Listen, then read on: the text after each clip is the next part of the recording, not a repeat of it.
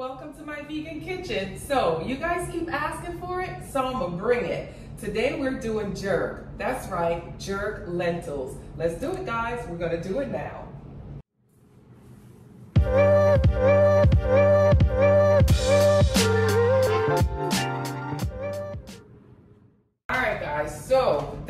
Recipe is so simple and I try to keep it simple for you guys because I know a lot of you are transitioning vegans so you don't want anything complicated. It's already complicated when we say vegan. So we're gonna say plant-based and this is easy. Alright, here's the lentils. Brown lentils. So here we go. Come in, let me show. And if you guys notice, I have everything set up so it's nice and easy. You don't have to watch me chop onions today. Okay, so I got everything here. We're gonna use, you can use any lentils, but I prefer green or brown lentils, not like the red lentils or anything like that, because we want it to look like meat when it's done. Kind of like, um, like brown meat when it's finished. All right, so here's my lentils. We're gonna do a cup of brown lentils. So let me measure that out. Place it in my strainer because we're gonna rinse this well. All right, come in, see, not like you guys don't know how to wash lentils, but just for the sake of things, watch me wash the lentils. All right, so I'm rinsing this really well because a lot of times it will have pieces of like, you know, uh, dirt and sediment and stuff like that in it. So we wash it really well. I'm gonna place it in a saucepan, all right? We're gonna place two cups of water. So let me grab some water. So that's one cup of lentils. And don't worry guys, I will have all the measurements for you down in the description box. So just kind of follow what I'm doing right now. You don't have to worry too much about the measurements. And ain't that crazy? This is exactly two cups of water. It's gonna be a good day, guys. It's gonna be a good day. And I just spilled half of it on the counter. All right, so we have our lentils. We're gonna head over here to the stove and I'm gonna turn the flame on. All right, let me grab my favorite better than bouillon. You know I use that in everything. All right, so we will, we're just gonna grab a little bit. Again, I will have the measurements for you guys. And let's place it in our pot of lentils and water. It will dissolve. We're gonna let that cook for about 20 minutes, 20, 20 to 30 minutes, or until the um, water completely absorbs and it just disappears, okay? All you're gonna be left with is lentils in the pot, and that's when you're gonna know it's cooked. So if you don't have a timer, once the water is all absorbed, it's done, it's ready. So we're gonna leave that back there to cook on medium. All right, so I have an, another saucepan, a nice heavy duty cast iron saucepan. I'm gonna turn that on and get that heated up. I'm gonna add some grapeseed oil to that saucepan. Again, I'll have the measurements for you. Don't worry about it, don't worry about it. Not yet, not yet. All right, we're gonna get that heated up. Head over here. This is what I got going on here. So, I have some chopped onions yellow onions. I have half a yellow onions and I have some carrots and red bell peppers.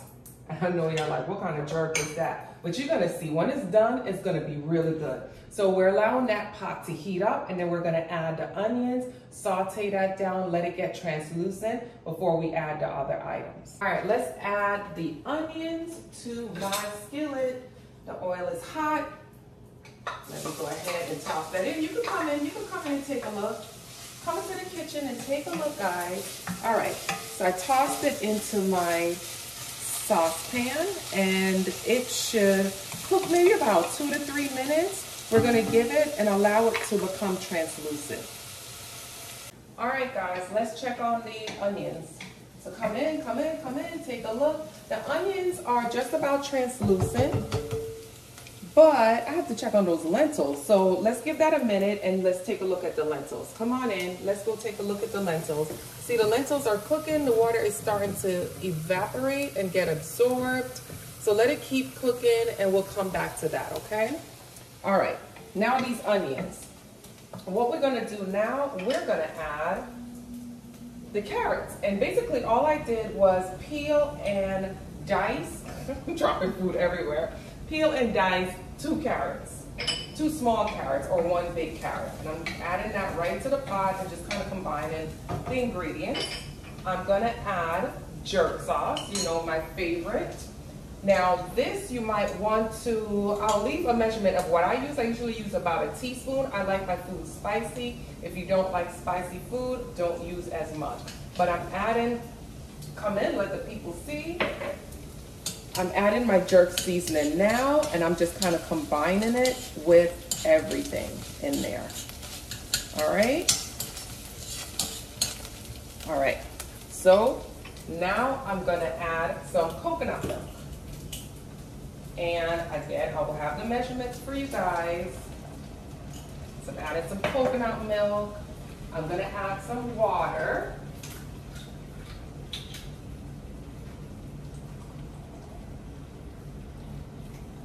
Okay.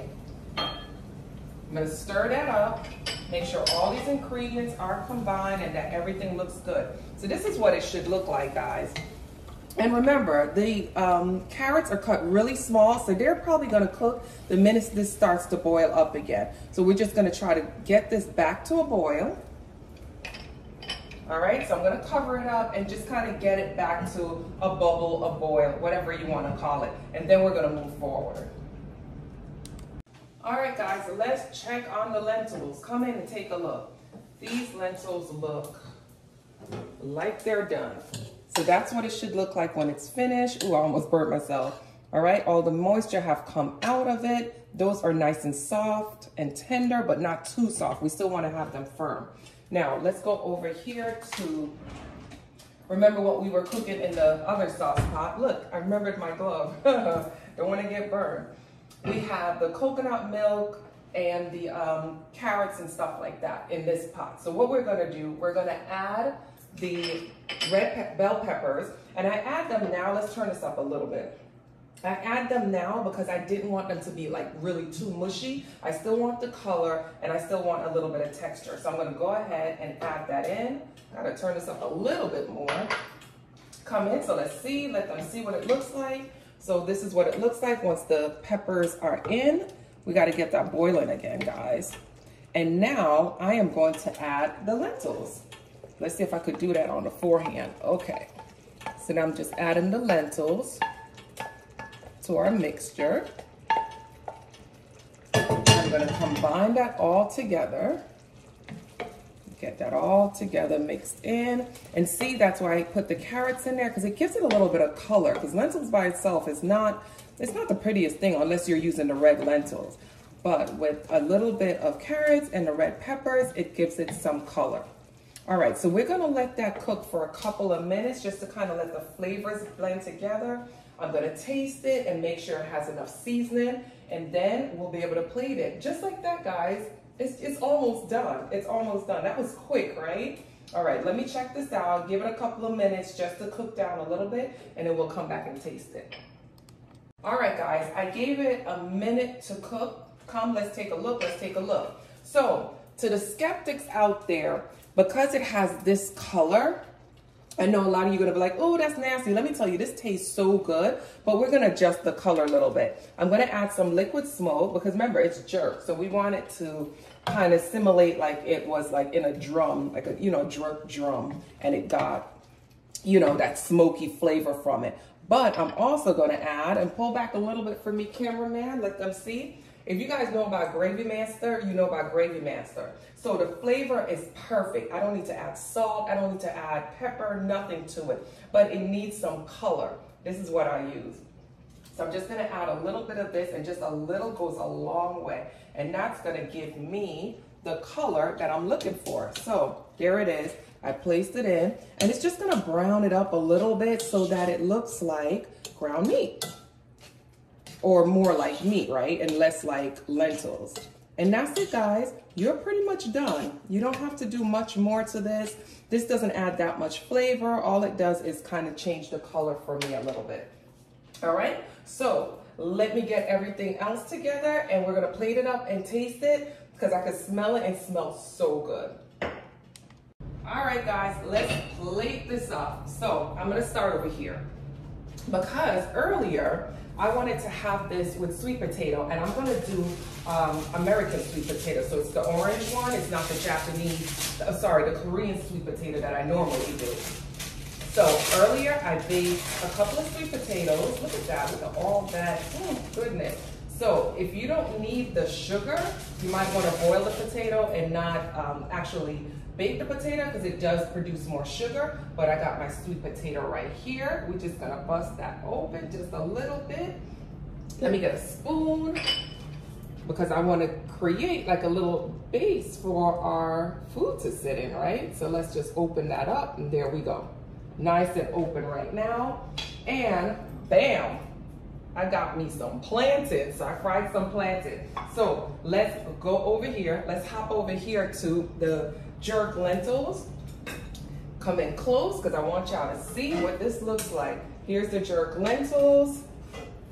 We're gonna place that right on top of that potato, guys. Yes. Mm.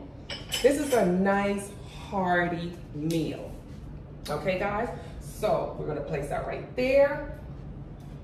I got a couple of plantains. I'm gonna place them right on top because the sweetness of the plantains and the spiciness of the jerk, oh, this is gonna be so good.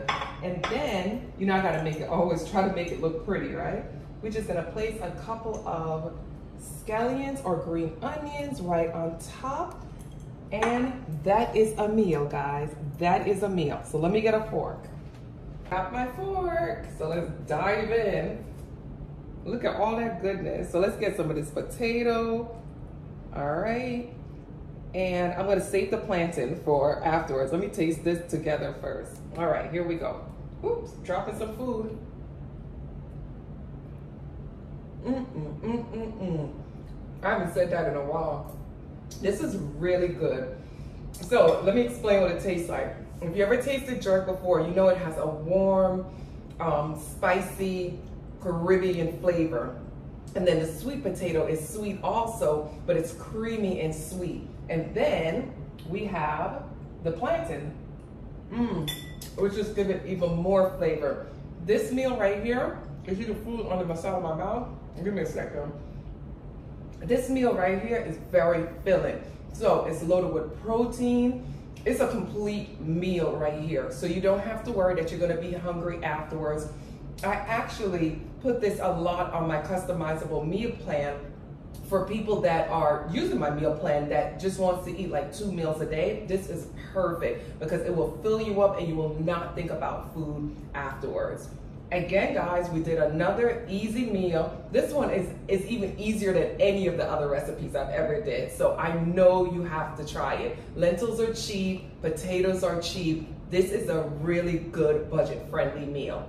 Thanks again, guys, for joining me in my vegan kitchen.